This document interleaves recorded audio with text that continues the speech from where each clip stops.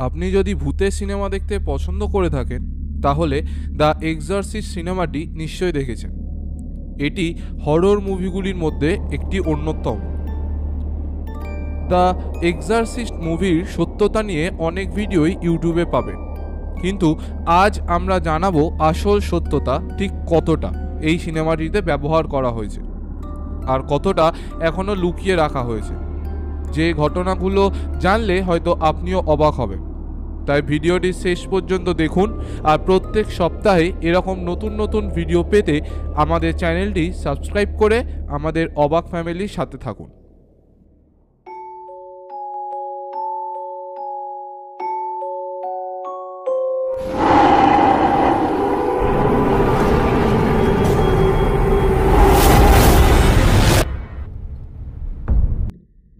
এই ঘটনা ১৩ বছরের এক ছেলে রোল্যান্ডকে ঘিরে। উনিশশো চল্লিশ সালের দিকে সে তার পরিবারের সাথে আমেরিকার ওয়াশিংটন শহরের কাছে বসবাস করত। রোল্যান্ডের সাথে বিভিন্ন রকমের ভৌতিক ঘটনা সেদিন থেকে ঘটতে শুরু করে যেদিন তার কাকিমার হঠাৎ মৃত্যু হয়। যে কাকিমা রোল্যান্ডকে নিয়ে প্রায়শই ওজা বোর্ড চালাতেন এবং রোল্যান্ডকেও তা শেখাতেন। ওজা বোর্ড হলো প্ল্যানচেটের মতোই আত্মা ডাকার একটি সরঞ্জাম, যা উনিশ শতকের দিকে আমেরিকায় বহুল ব্যবহার হতো। উনিশশো উনপঞ্চাশ সালে তার কাকিমার হঠাৎ মৃত্যুর পর থেকেই রোল্যান্ডের বাড়িতে এবং তার সাথে অদ্ভুত ভয়ানক রকমের ঘটনা ঘটতে থাকে। এমনকি বাড়ির লোকেরা রোল্যান্ডকে শূন্যেও ঘুমিয়ে থাকতে দেখে। আতঙ্কিত রোল্যান্ডের পরিবার শেষমেশ ঘটনাক্রমে পৃষ্ঠের কাছে সাহায্য চাইলে উনিশশো উনপঞ্চাশ সালের ফেব্রুয়ারি মাসের শেষ দিকে তার উপর এক্সারসিজম শুরু হয়। এক্সারসিজম হলো দুষ্ট আত্মাকে শরীর থেকে তাড়ানোর এক ক্যাথলিক পদ্ধতি। এক্সারসিজম শুরু করা হলে প্রথম দিনই রোল্যান্ড পৃষ্ঠকে এক ভারী জিনিস ছুঁড়ে আঘাত করে, যার কারণে এক্সারসিজম সেদিনই বন্ধ হয়ে যায়। কিছুদিন পর রোল্যান্ডের শরীরে অদ্ভুত রকমের ছেঁড়া কাটার ক্ষত দেখা যেতে থাকে। তারপর তাকে সেন্ট লুইসের দ্য অ্যালেক্সিয়ন ব্রাদার্স হসপিটালে আনা হয়, যেখানে অনেক পৃষ্ঠের তত্ত্বাবধানে তার উপর আবার এক্সারসিজম শুরু করা হয়। কিন্তু রোলান্ডের শারীরিক অবস্থা খারাপ হতে শুরু করলে তার উপর ব্যাকটিজম নামক আর একটি প্রক্রিয়া শুরু করা হয়। ব্যাকটিজম হলো এমন একটি প্রক্রিয়া যাতে খারাপ আত্মাকে তাড়ানোর জন্য ভালো আত্মাকেও একই শরীরে প্রবেশ করানো হয়। ধীরে ধীরে বিভিন্ন ভৌতিক ঘটনার মধ্য দিয়ে রোল্যান্ড সুস্থ হয়ে ওঠে।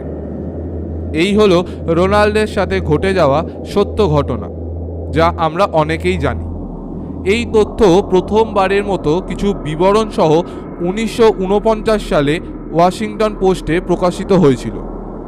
কিন্তু উনিশশো একাত্তর সালে উইলিয়াম পিটার ব্ল্যাটি নামের একজন লেখক এই ঘটনার বিবরণে দ্য এক্সারসিস্ট নামের উপন্যাস লিখলে এই ঘটনা জনপ্রিয়তা পায়। চুয়ান্ন সপ্তাহ ধরে উপন্যাস বিক্রির তালিকায় এই উপন্যাসটি শীর্ষস্থান পায়। পরে উনিশশো তিয়াত্তর সালে এই ঘটনা অবলম্বনে দ্য এক্সারসিস্ট মুভিটি মুক্তি পায়। কিন্তু সিনেমায় সত্য ঘটনার অনেক পরিবর্তন আনা হয়। সিনেমায় রোল্যান্ডের নামের পরিবর্তন করে রেগান রাখা হয়। রোল্যান্ড একজন ছেলে হলেও তার ঘটনা এক মেয়ে চরিত্রের দ্বারা তুলে ধরা হয়। সিনেমাটির ঘটনাটি নেওয়া হয়েছিল বটে, কিন্তু তার মধ্যে অনেক কিছুই পরিবর্তন করা হয় সিনেমাটিকে অ্যাট্রাকটিভ করার জন্য। সিনেমায় দেখানো রেগানের শরীরে বড় বড় কাটার দাগ তিনশো ষাট ডিগ্রিতে মাথা ঘোরানো, সবুজ বমি করা, গালিগালাজ করা ইত্যাদি সবই মিথ্যা। এগুলো শুধুমাত্র ভৌতিক ঘটনাকে অতি ভৌতিক করার জন্য করা হয়েছে। তবে রোল্যান্ড সুস্থ হওয়ার পর তার কি হয়েছিল সেসব আজও লুকিয়ে রাখা হয়েছে। তবে অনেকের মতে রোল্যান্ডের এক্সারসিজমের পরে সুস্থ হলে তারা পূর্ব আমেরিকায় চলে আসে। বিশেষজ্ঞরা বিশ্বাস করেন যে রোল্যান্ডের আসল নাম রোল্যান্ড হানকিলার উনিশশো সালে লেখক থমাস বি এলেন একটি নন ফিকশন বই, possessed the story of a এক্সারসিজমে রোল্যান্ডের সত্যি পরিচয় কাহিনী উন্মোচিত করেছেন। তবে তিনি কখনোই রোলান্ডের আসল নাম প্রকাশ করতে পারবেন না। তো প্রিয় ভিউয়ার্স, আজকের মতো এখানেই শেষ করছি। ভিডিওটি কেমন লাগল তা জানাতে আমাদের ভুলবেন না। লাইক করুন, কমেন্ট করুন, শেয়ার করুন বন্ধুবান্ধবদের সাথে। আর আপনি যদি নতুন হন এই চ্যানেলে, তাহলে এখনই সাবস্ক্রাইব করুন। ধন্যবাদ।